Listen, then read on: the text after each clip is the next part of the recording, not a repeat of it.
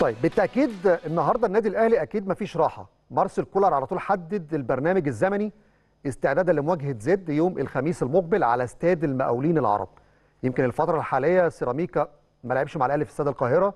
زد حتى رغم إن هو اختار استاد القاهرة هيلعب في المقاولين. نتيجة إن استاد القاهرة حاليا في فترة صيانة. قبل بداية معسكر منتخبنا الوطني بإذن الله منتصف هذا الشهر مصر عندها مباراتين في ختام التصفيات بعد تأهلها بشكل رسمي إلى كأس الأمم الإفريقية. فبالتالي مباراة الأهلي المقبلة هتكون يوم الخميس على استاد المقاولين العرب مع فريق زد.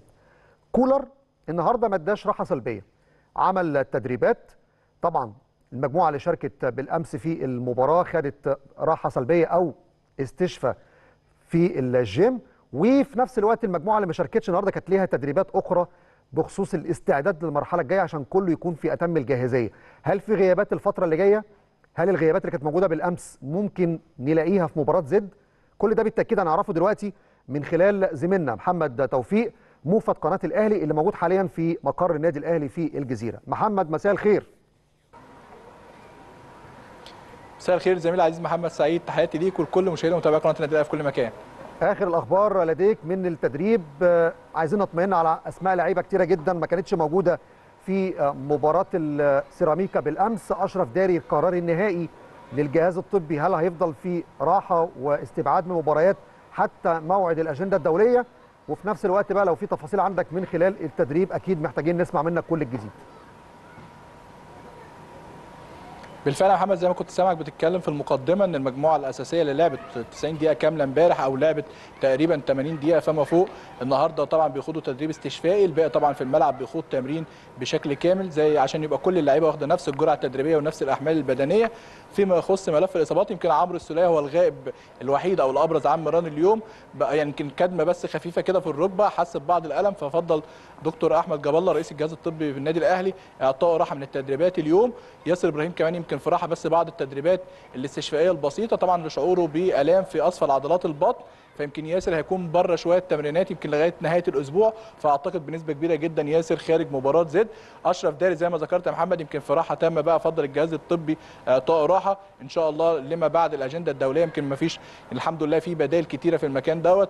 فمش هيبقى في مخاطرة بيه الفترة الجاية. باستثناء كده كل اللاعبين ظهروا بشكل أكثر من رائع في التدريبات النهارده. مستر مارسيل كولر يمكن على طول قبل التدريب محمد كان في محاضرة فنية. اتكلم بقى عن كل ما تم في مباراة الأمس الإيجابيات السلبيات الحاجات اللي قالها اللعيبة وتنفذت الحاجات اللي ما اتنفذتش عشان يتم قفل يعني صفحة مباراة سيراميك كليوباترا الحمد لله يمكن بداية ولا أروع لحامل اللقب وأولى خطواتنا نحو اللقب الخامس والأربعين تم قفل الخطوة دي ومن النهارده على طول الاستعداد لمباراة زد محمد في الأسبوع الثاني يمكن التدريب وأنا بكلمك دلوقتي حالا موجود دلوقتي بقى بعض التدريبات الفنية كده والتقسيمة.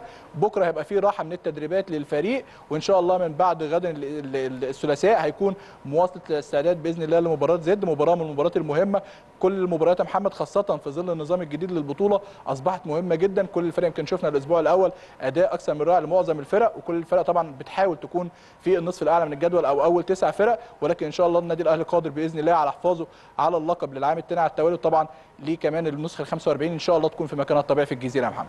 اذا نقدر نقول من خلالك نقلا عن الجهاز الطبي للنادي الأهلي كدمة لعمرو السوليه في مران اليوم وغياب ياسر إبراهيم حتى نهاية الأسبوع وأشرف داري في راحة حتى موعد الأجندة الدولية. هل في تفاصيل أخرى؟ يمكن النهارده أنا برضو شفت في كورة بلس كتبوا إن كهربا بيعاني من إصابة وده كان سبب في عدم وجوده في قائمة المباراة واشتكى من آلام في الركبة. هل الكلام ده موجود حقيقي ولا النهارده كان قدامك في المران الجماعي وممكن يكون جاهز على مباراة زد؟ اللي أقدر اكده لك يا محمد واللي شفته بعينيا يعني قدامي على ارض الملعب ان كهربا موجود في التدريب بيتدرب بشكل طبيعي جدا ما فيش اي مشكلة. عمرو السوليه يمكن الاصابه ما كانتش النهارده كانت كدمه في مباراة الأمس أمام سيراميك كليوباترا. فالجهاز الطبي فضل اراحته من التدريبات اليوم لكن إن شاء الله يكون موجود على طول في يعني بكرة زي ما قلت لك إجازة الاثنين الثلاث بإذن الله يكون موجود بشكل طبيعي جدا.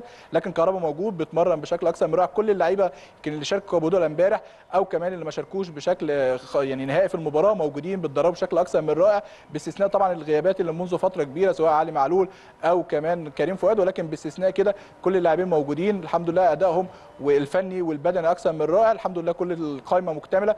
باستثناء طبعا زي ما قلنا ياسر إبراهيم اللي هيبقى فيه بس يعني تروي شوية في إصابته لنهاية الأسبوع. طبعا أنت عارف إصابة العضلات بالذات في منطقة البطن يا محمد بتبقى يعني مش خطيرة قوي ولكن لازم يبقى في راحة وإلا هتتفاقم الإصابة. فطبعا في حفاظ عليه بشكل تام من الجهاز الفني. أشرف داري نفس الوضع طبعا بيخضع لراحة سلبية في هذه الفترة. يعني ممكن تكون بعض التدريبات الخفيفة جدا ما فيهاش أي اجهاد على الكاحل اللي فيه الإصابة ولكن باستثناء كده الحمد لله بطمنك على فريق النادي الأهلي. الفريق كله جاهز بدنيا فنيا وإن شاء الله يكون قد أحلام كل جميع